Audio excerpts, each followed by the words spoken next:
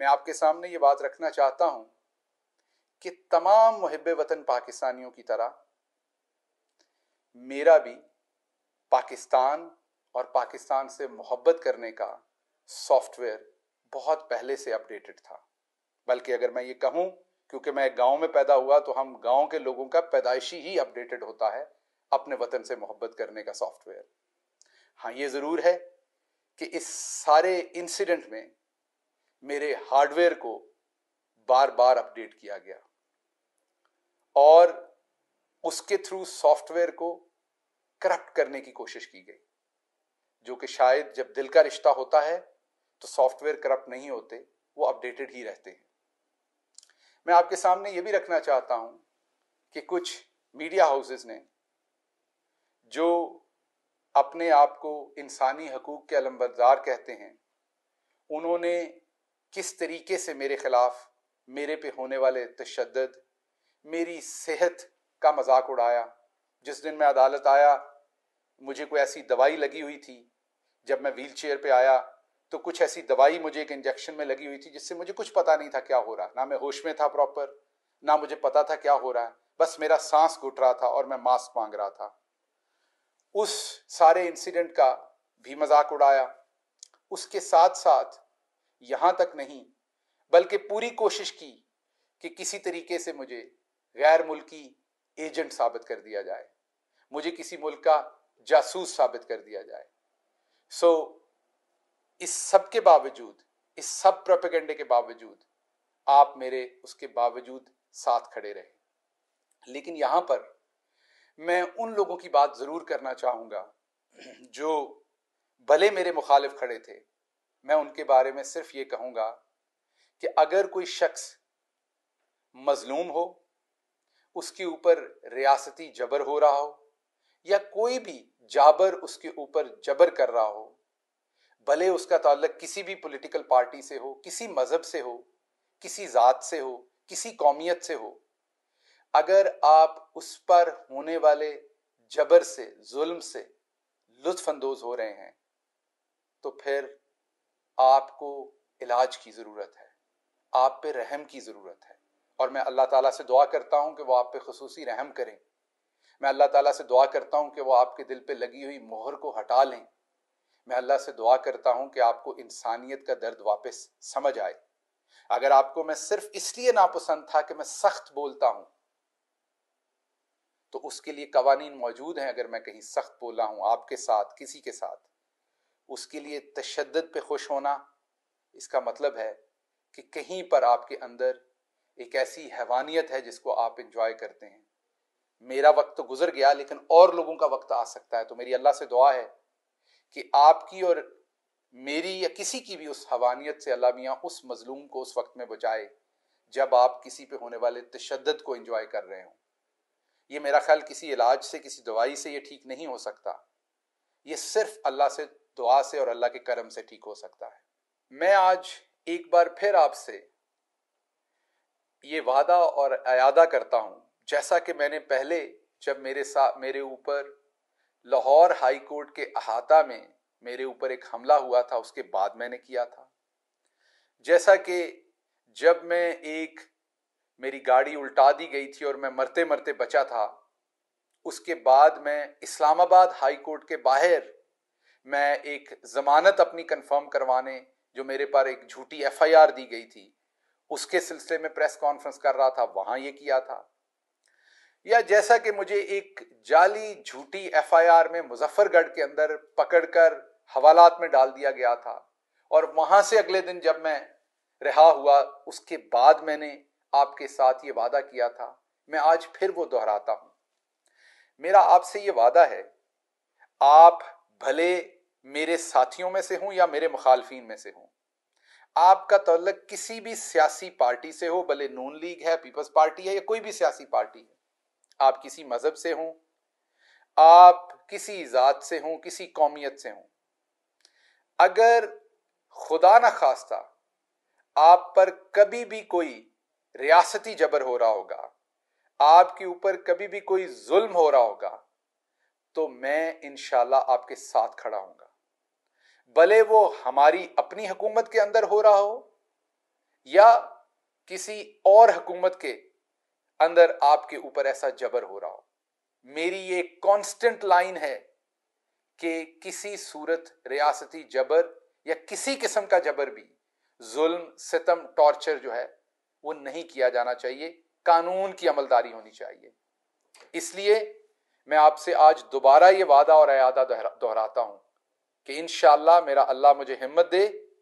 खुदा न खास्ता अगर आप कभी किसी ऐसे मुश्किल में फंसे होंगे तो शहबाज गिल आपके साथ खड़ा होगा। मैं एक गाँव का मिडिल क्लास पाकिस्तानी हूँ, जो एक गाँव में पैदा हुआ। वहाँ पर टाट स्कूल पे पढ़ा। बहुत छोटी जगह पे पैदा हुआ, लेकिन मैंने बड़े ख्वाब देखे। मेरे सबसे पहले ख्वाब तो हर नौजवान की तरह अपना मुस्तकबिल बनाने के थे। और उसके बाद अपने मुल्क के लिए कुछ करने का ख्वाब था। टाट स्कूल से मैं अमेरिका की दूसरी बड़ी यूनिवर्सिटी में पहुँचा। टाट स्कूल में पढ़ने से मैं अमेरिका की दूसरी बड़ी यूनिवर्सिटी में पढ़ाने तक पहुँचा। जैसे हर नौजवान के मिडिल क्लास नौजवान के कुछ ज़रूरतें होती हैं, ख्वाहिशें होती हैं, ख्वाब होते हैं। जैसा मैंने आपको बताया, मेरे भी थे। एक अच्छा घर, गाड़ी कंफर्टेबल ज़िंदगी अच्छी तनख्वाह, आसाइश, सफ़र करना दुनिया में, अल्लाह की ज़ात ने, मोहम्मद मुस्तफ़ा अलैहि वसल्लम की ख़ास रहमत और मेरे घर वालों की दुआओं से बहुत जल्दी वो ख्वाहिशें और ख्वाब पूरे किए। और मैं अमेरिका के अंदर एक पुरसाइश और बहुत ही बाइज्जत ज़िंदगी गुजार रहा था। लेकिन उसके साथ साथ हर ओवरसीज पाकिस्तानी की तरह मेरा दिल भी हर रोज पाकिस्तान के साथ ही धड़कता था।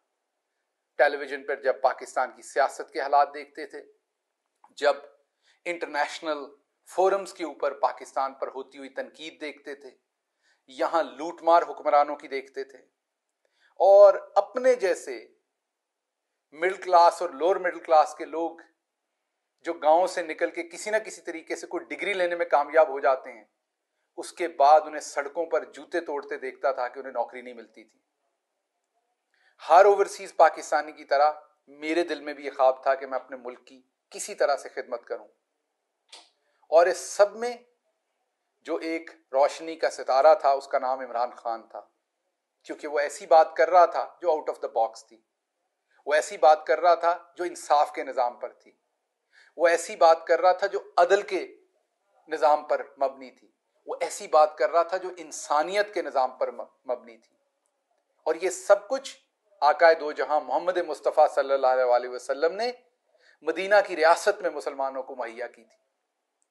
इमरान खान साहब का अज़म, उनका हौसला, उनकी जो सियासी रब थी कि पिछले 26 साल से एक ही नारा और उसके पीछे वो चलते रहे, उसने मुझे आप जैसे बहुत सारे पाकिस्तानियों की तरह उसने मुझे भी मुतासर किया। और मैं अपनी एक मुकम्मल सेटिस्फाइड और कंफर्टेबल जो एक लिविंग थी प्रोफेशन था, तनख्वाह थी, ज़िंदगी थी, उसे छोड़ के इमरान खान के पीछे पूरे दिलो जान से पाकिस्तान की खिदमत करने आया। मैं जब उनके बिहाफ पे मीडिया करता था तो बहुत सारे लोग कहते थे, डॉक्टर साहब, कोई प्रोडक्टिव काम करें। आप तो मीडिया करते हैं, सारा दिन बयान देते हैं, कोई कम भी कर लो। सो मैं कईयों को समझाता था कि काम इमरान खान कर रहा है। जब मैं शील्ड लेके उसको दिफा कर रहा हूँ तो मेरा मकसद है कि इमरान खान की तोानाइयाँ जो हैं, वो काम पर लगें। और जो दूसरे लोग उनके, उनकी तवज्जो को, उनके फोकस को हटा रहे हैं, वो महाज मैं संभालूं, ताकि वहाँ से इमरान खान को कोई गर्म हवा ना आए। मेरे लीडर को वहाँ पर स्पेस मिले ताकि वो डिलीवर कर सकें। तो ये काम मैं कर रहा था।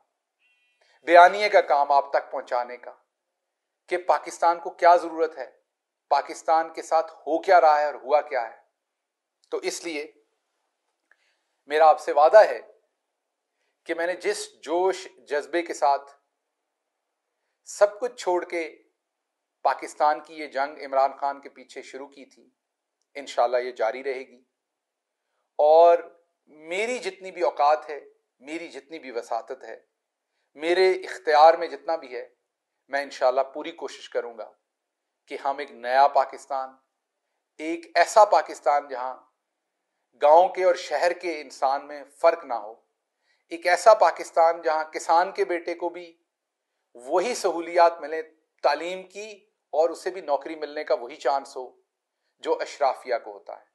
मैं सियासतदानों की तरह खोखले नारे नहीं लगा रहा मैं सारे निज़ाम की पैदावार हूँ। मैं इसमें से गुजरा हुआ हूँ। मैंने आपको जैसे पहले कहा कि मैं ज़मीन पे पड़े हुए टाट से लेके अशराफिया के उस यूनिवर्सिटी में पढ़ाया जहाँ पाकिस्तान की अशराफिया ये ख्वाब देखती है कि उनके बच्चों का दाखला हो जाए वहाँ पर। तो इसलिए मुझे पता है कि ये जो खलीज है, इसको, ये जो समंदर है, इसको, इसका फासला तय करने के लिए जो अल्लाह मियाँ ने मौके मुझे दे दिए, जो आप लोगों की दुआओं से मैं आगे निकल गया, शायद हर बच्चे को ये नसीब नहीं हो पाता। इसलिए इनशाला ये मेरा आपसे वादा है कि इमरान खान के साथ एक नया और बेहतरीन पाकिस्तान बनाने के लिए मेरी जद्दोजहद हमेशा जारी रहेगी। आखिर पर मैं आपसे एक दफ़ा फिर दरख्वास्त करूँगा कि आप इमरान खान की, ये जो हकीकी आज़ादी की लड़ाई है, इसमें उनका भरपूर साथ दीजिए। ये लड़ाई आखिरी मराहल में पहुँच चुकी है। आप अगर चुप करके घर बैठेंगे तो फिर आपके साथ जो हुआ है, वो आपकी आने वाली नस्लों के साथ भी होता रहेगा। इसलिए मेरी आपसे खसूसी गुजारिश है कि इमरान खान की कॉल पर जब भी वो आपको कॉल दें, निकले और अपना हिस्सा जो है इस हकीकी आज़ादी की लड़ाई में डालें। आज इस निशस्त में मैं कोई और बात नहीं करने जा रहा क्योंकि इसका मकसद, इस निशस्त का, इस बातचीत का मकसद आज सिर्फ़ आपका शुक्रिया अदा करना था। इनशाला जिस शहबाज गिल को आप जानते हैं, जिस शहबाज गिल से आपने मोहब्बत की, बहुत जल्द इनशाला जो मेरा एक नेचुरल स्टाइल है, जो मेरा रवायती अंदाज है उसमें इनशाला बहुत जल्द आपके साथ दोबारा बात भी होगी और इस कारवां के अंदर अपने कायद के पीछे जस्तजू भी होगी। मैं आखिर पर एक दफ़ा फिर अपनी माओ, बहनों, बेटियों और उन नन्हे मुन्ने बच्चों का शुक्रिया अदा करना चाहता हूँ, जिन्होंने इस मुश्किल तरीन जो दौर था मेरे ऊपर, उसमें मेरे लिए बेतहाशा दुआएँ की। आप सबकी दुआओं की मुझे अभी भी बहुत ज़रूरत है। अल्लाह आपका मेरा और पाकिस्तान का। हामी नासिर हो पाकिस्तान जिंदाबाद।